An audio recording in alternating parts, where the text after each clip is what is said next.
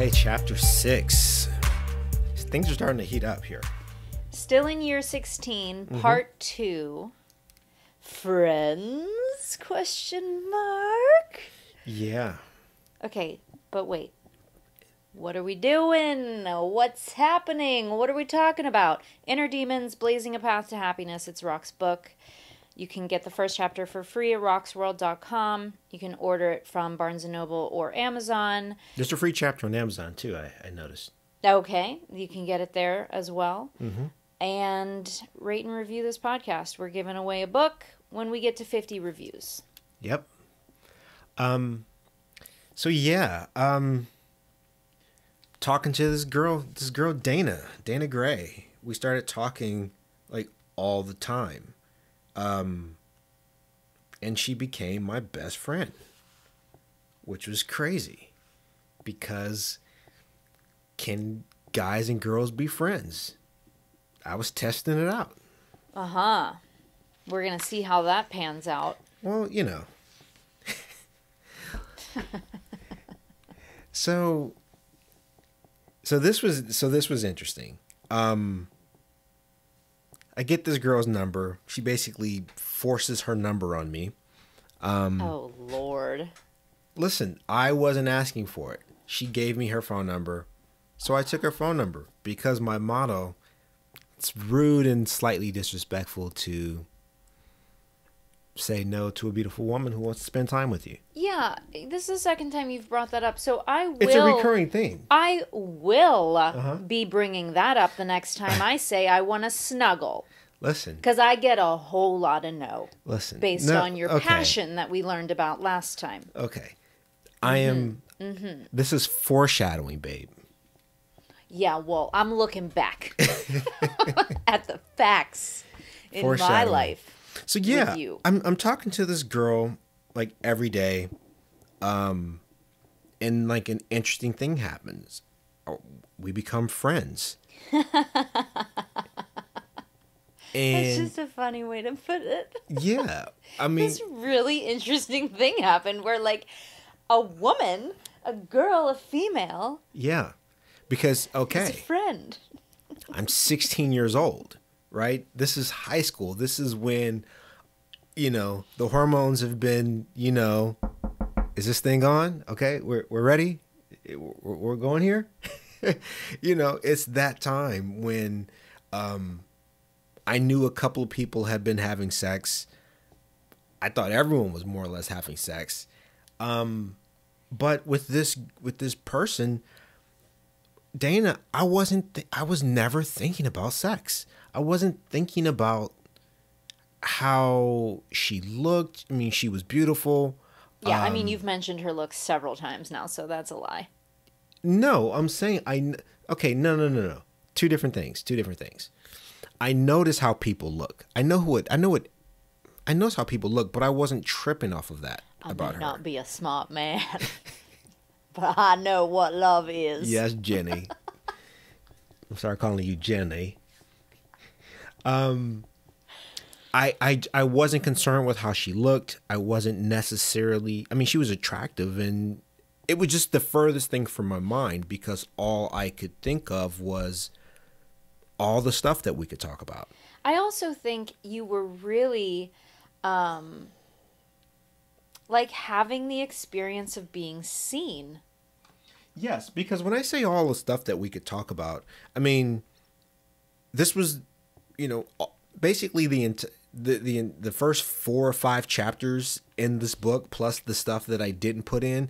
I got to tell her all of that, and there was no judgment. There was no pity. It was just um, we could talk about it, and then she would tell me about her family and you know the different things that were that were going on with her and her hopes and her dreams and her aspirations and it was just a very um it was just a very supportive environment and i think that um neither one of us had experienced anything like that before. Um and we were very not necessarily that's not secretive we were very guarded um, guarded about it because we did understand how rare it was to be friends with someone of the opposite sex or even just friends in general because you know you have friendships when you're in high school you know 16 you know years old but you know how how solid are these friendships right? People are falling in and out of friendships all the time. Um i mean i guess especially these days with social media and who was saying what behind whose back. Um and so i think we understood how rare it was just to find a person who uh, would listen, could understand our perspective, and didn't judge. You know?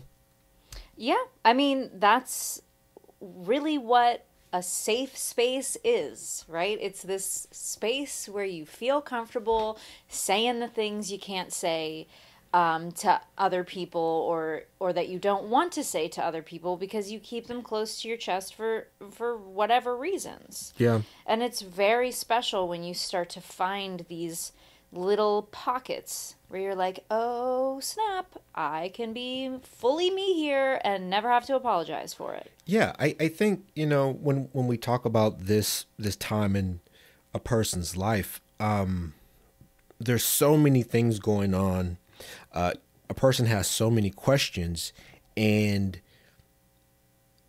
parents aren't necessarily depending on people's relationships with their parents obviously they aren't necessarily the best person to talk to um, about every subject particularly when the subject is them.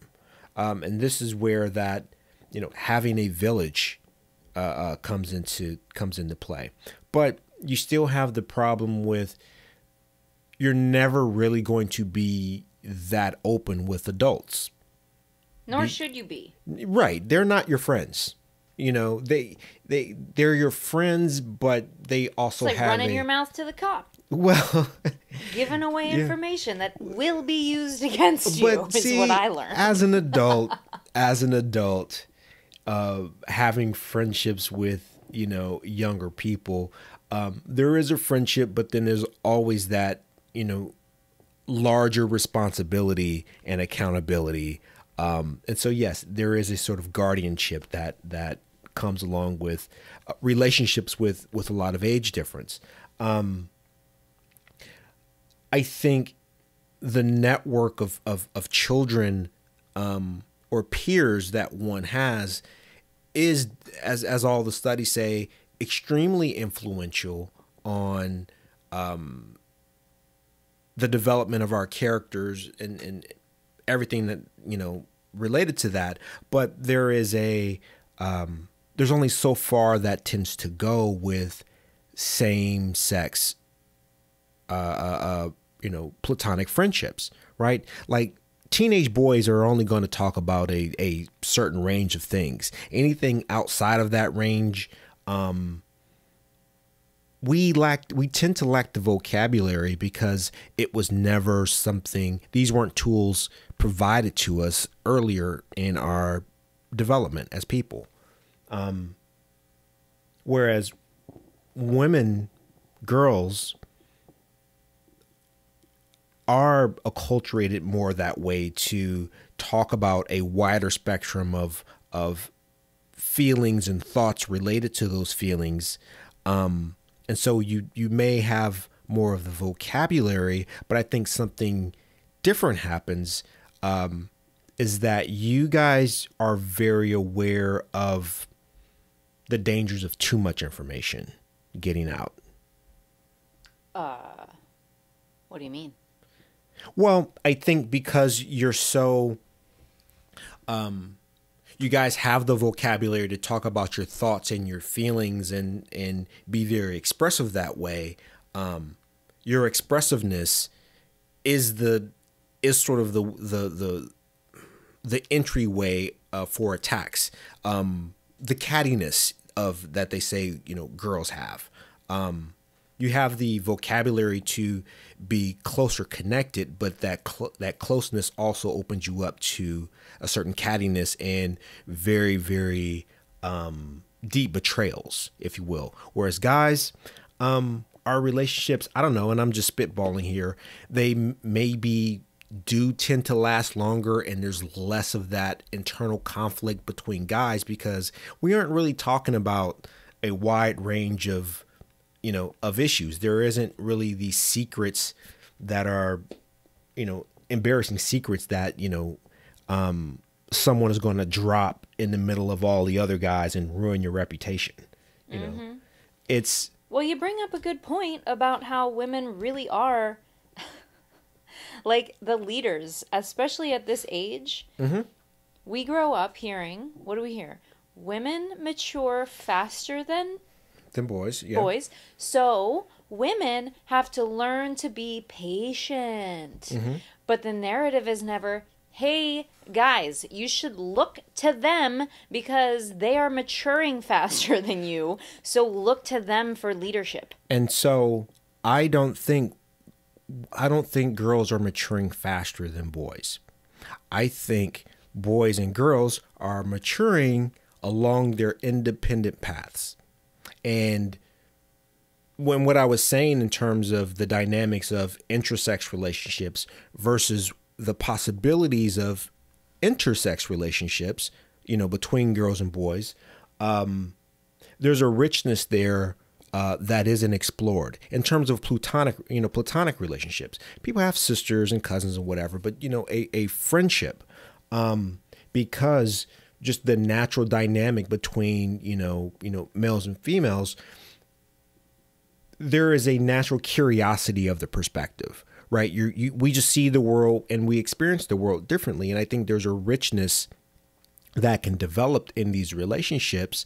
Um, that is, if done properly, is extremely beneficial and valuable for the self esteem of you know the you know the people because I sure, mean, but it's yeah. not. It's it is a fact that girls mature faster than boys, babe. This no, is not so, an opinion of no. mine. So and, and and so I want to I want to draw this distinction that I think I think the way we talk about these things in a in terms of this comparison, faster than, bigger than, more or less than, I think that's the wrong way to to to talk about these things. Okay, well, that's how you compare things. No, no, no, right. This is how people are comparing things, and I'm saying it's the comparison itself that is that is misaligned to what it is that we're trying to do. I understand why people do it. I understand the lexicon and the things that they're trying to communicate.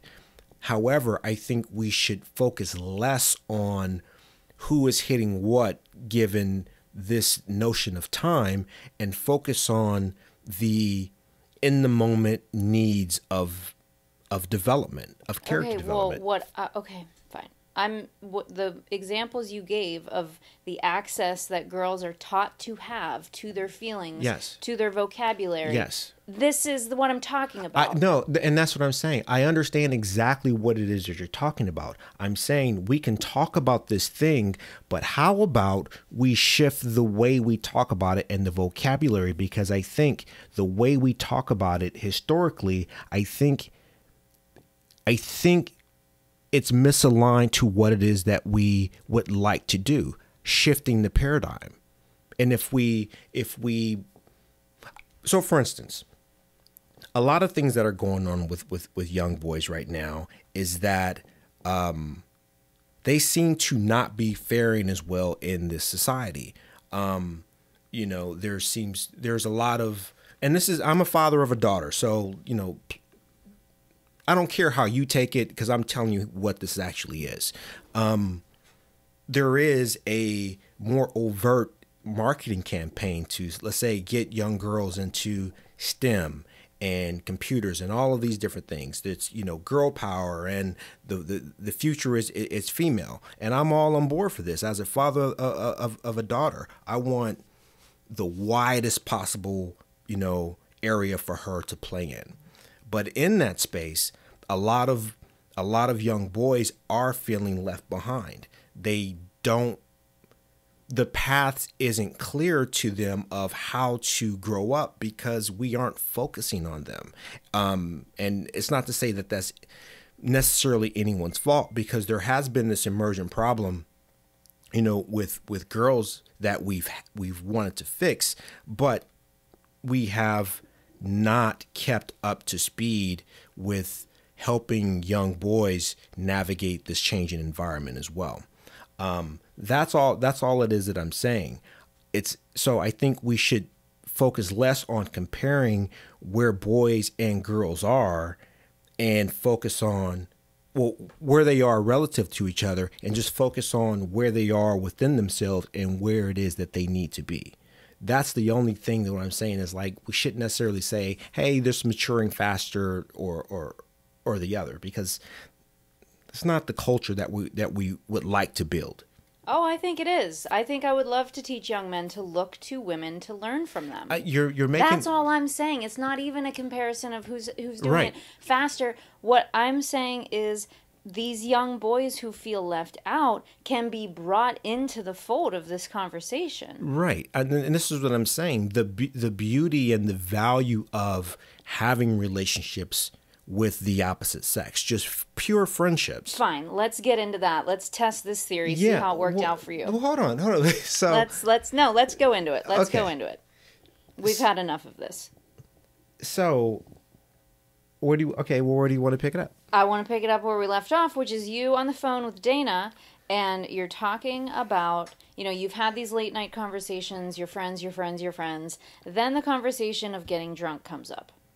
Yeah, because I didn't I didn't drink or smoke or do any of these things.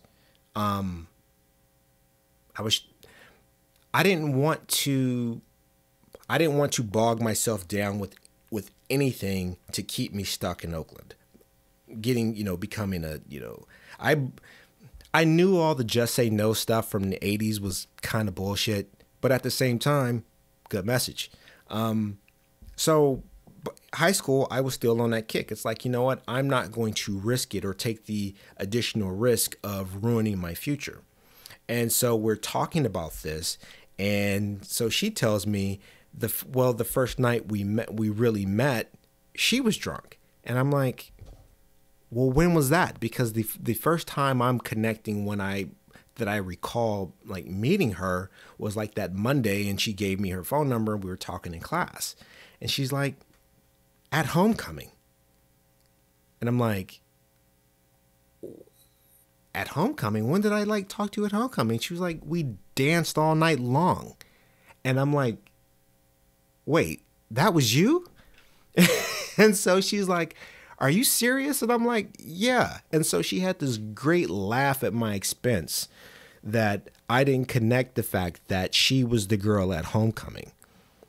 I didn't connect it when I met her at homecoming. I didn't connect it on the following Monday. I didn't connect it for the next, you know, month and a half or two months that we talked every night on the phone.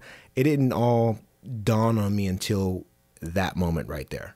Mm-hmm. See, this is what girls have to put up with if we are going to be friends with boys. So just know we have to have a wide range of patience And for the so bullshit. and so there was whatever veil that was in my head about this this magic girl um from homecoming mid October. I want to say it was sometime in mid October. This magic girl from Homecoming that for whatever reason I had just completely forgotten about.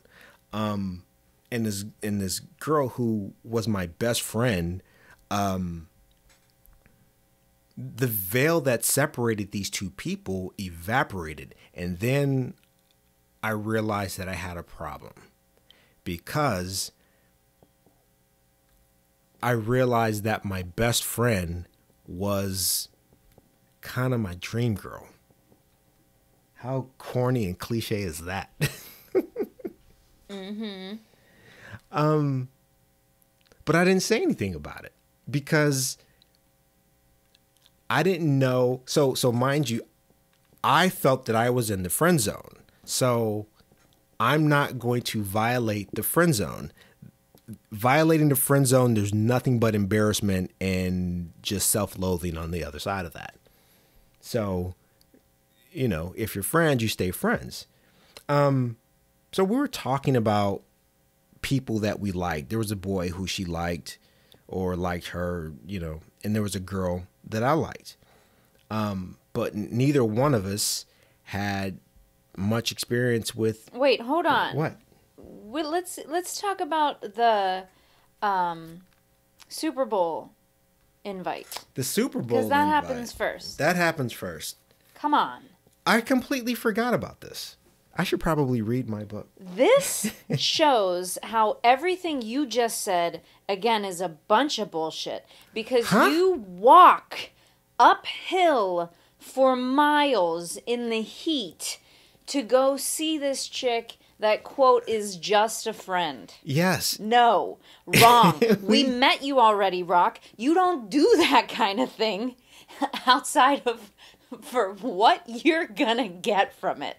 There was nothing to get. I was 16 and like kind of a virgin. Okay. There was listen, Whatever. No, no, no, no, no, no. So okay, you're gonna you. No, no, no, no.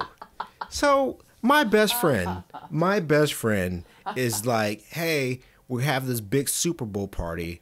Do you want to come and hang out? And so I'm like, yeah, sure. I don't, you know, there was the Cowboys playing. I didn't care about them, but yeah, sure. I'll go hang out with my best friend, watch the Super Bowl party.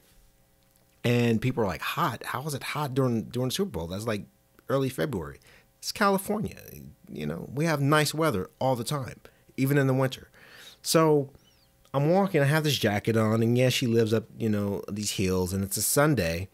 So the buses aren't, you know, they run very limited. And so I have to like walk, you know, maybe a mile or two up and down like these, you know, these hills to get to her house. So I get there. Um Have you ever done that for any other friend? Yeah, I've, dude. First of all, I was always walking. I, I had just gotten my license, you know, you know, four months ago, and so you know, walking and catching the bus is. See, you grew up in the suburbs, so maybe that's why it's it's so shocking to you. I've been catching the bus since I was five years old, and my father never had a car, so taking public transportation and walking a mile or two was like nothing. All right, whatever, fine. I will I will believe your experience that you say you had. So this is your best friend. You walk there, you show up. What Show- do you find when you get to her house? I find a house full of Filipinos being Filipino. And What does that mean, babe? what does that mean? That means that there's a ton of family. Everyone is laughing and joking and just this this boisterous, you know, boisterous family. Um so background on Dana, her father's black and her mother was half black and half Filipino. Um but somewhere in there, Dana got the very Asian eyes.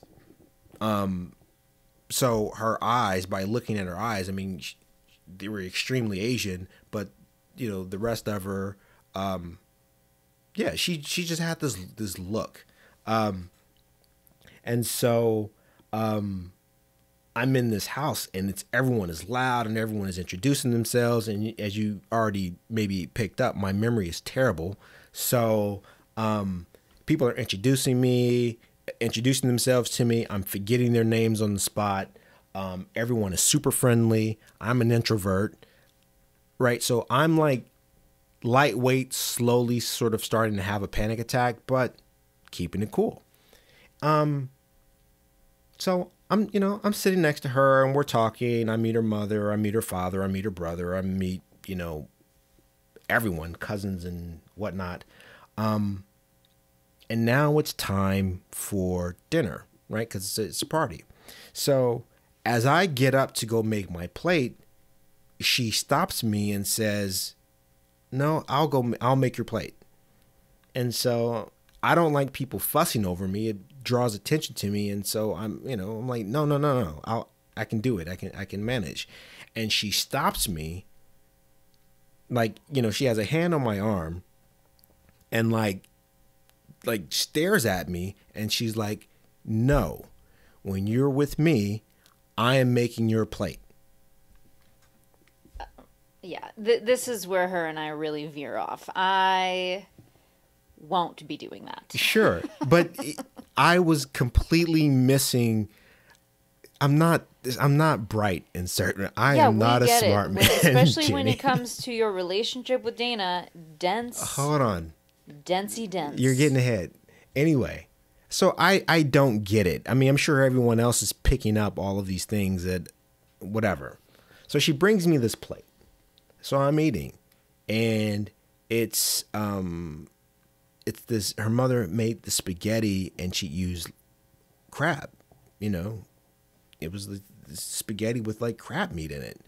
Um and I told her that I was allergic to crab. And so she took out the crab legs that was, you know, in the spaghetti. But for whatever reason, maybe because we're stupid and teenagers, we didn't think about the essence of the crab legs being all in the, the, the juice of the spaghetti. So I'm eating this stuff.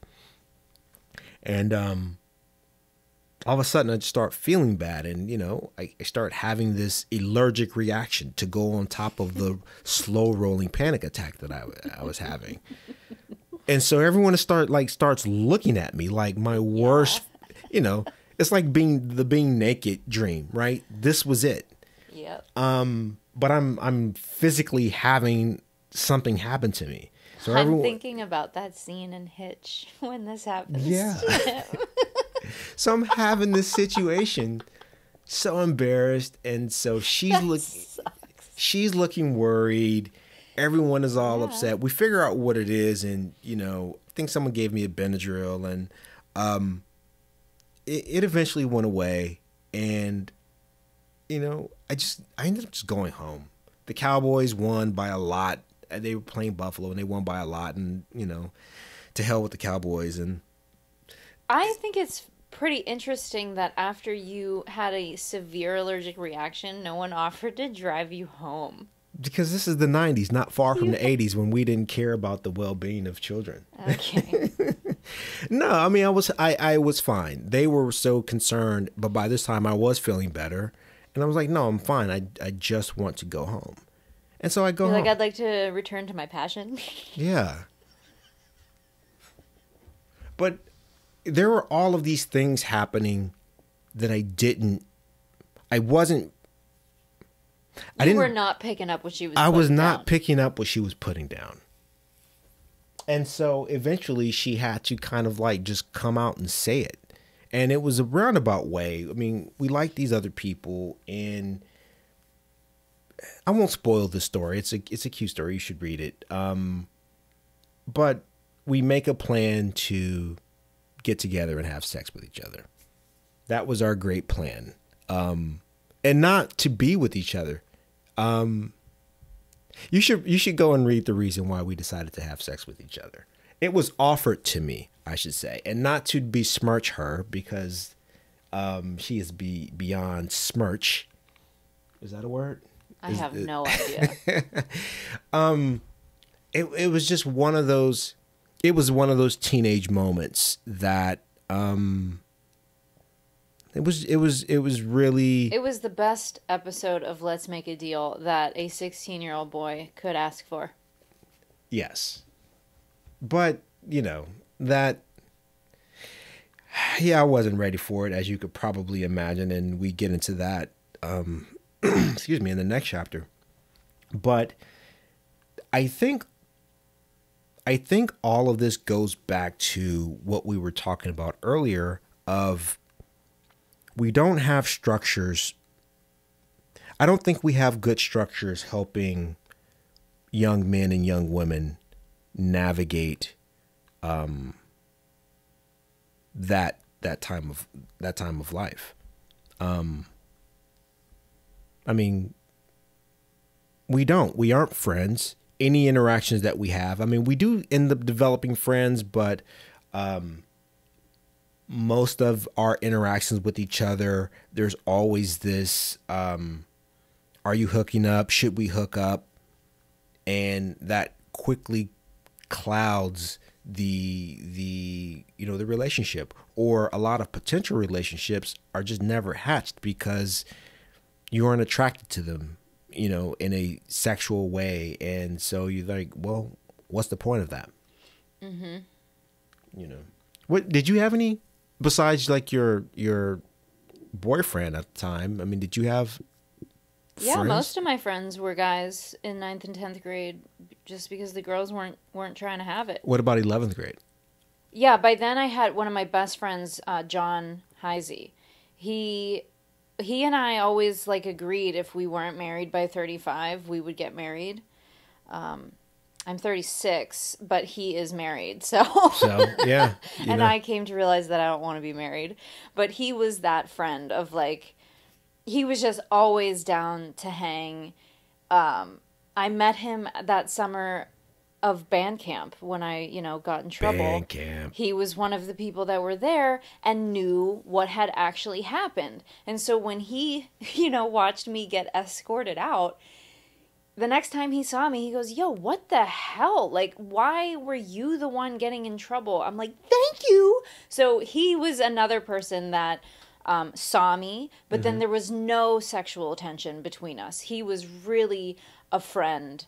Um, later in college we were like okay well you know i'm in between people are you in between people. And so he he was like a great friends with benefits through college and even a little bit after college. We we just legitimately had a deal of like hey i i just went through a really bad breakup. Can we hang out? Can you be my rebound? We we did not expect anything from each other other than a friendship and you know we ended up being more to each other when when needed physically but he was just a solid friend but then he got married and we weren't allowed to be friends anymore Yeah, well, you know. But yeah, I think I think it just it really all underscores this thing of the value of platonic you know relationships and friendships that we don't, you know, we just don't we don't give ourselves uh, space to have. And then just at a at a larger a larger issue just with teenage guys um there's just there's so much going on now i mean you hear about incels and you hear about all, all of these things and you know you hear about the country of japan of where their entire they have like a generation of people who need to be taught how to flirt um and you, you see with teenagers you know today um i mean you you, you want to talk about let's see i was 10 years before you um at that age. Um fast forward 10 years um you were you guys were still dealing with i don't know maybe some similar situations um whereas you know boys and girls aren't really friends they can't hang out.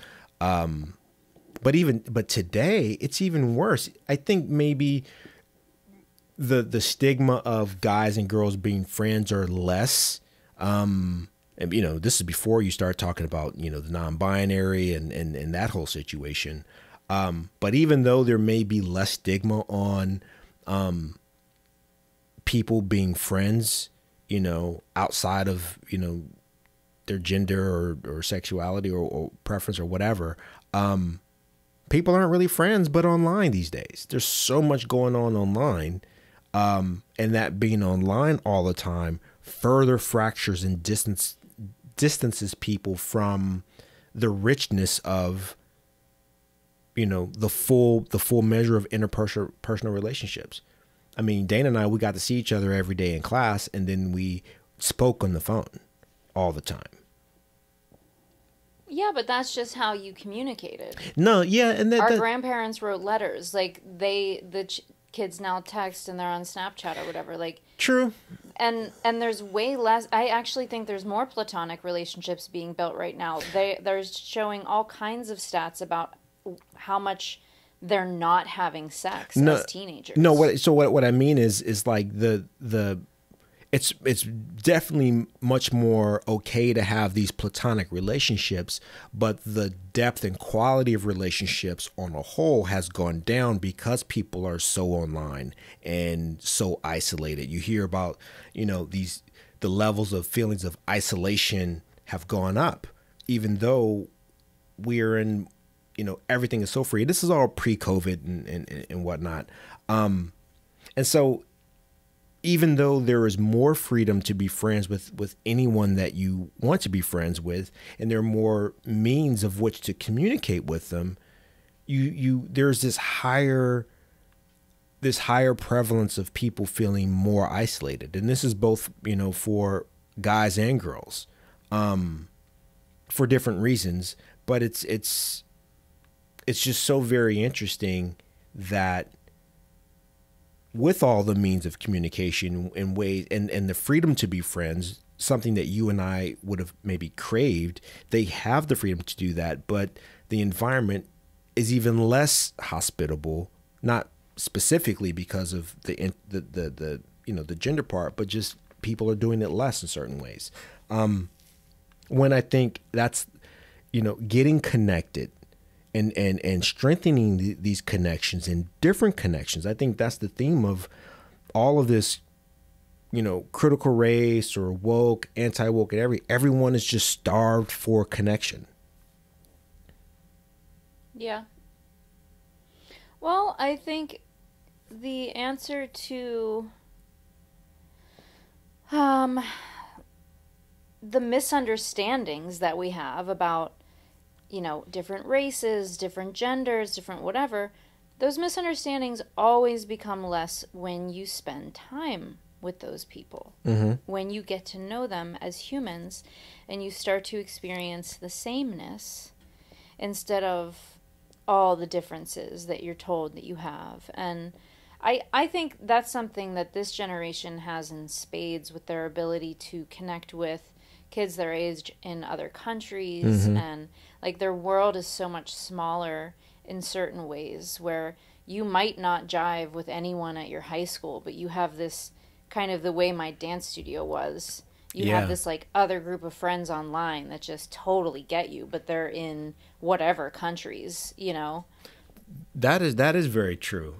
So yeah, you know what? And I'm glad you I'm glad you you did bring that up because as I was saying, it's like, oh, we had richer ways of communicating back in the day, sounding like back in the day guys. Like, no, it's just different. I'm sure they feel that their communications are, excuse me, are very rich, just like our grandparents thought writing whole four page letters by hand was very rich and, and, and thoughtful and meaningful communication. Um, and so, yeah, I, I think the fact that they can speak to kids across the world, um, comparing notes and, and finding those communities that maybe didn't ex- that don't exist in their small towns or in their particular high school. Um, yeah, what we are always worried about the kids, and the kids always manage to become adults and worry about their own kids. yep Hmm. So yeah, um, speaking of kids, um,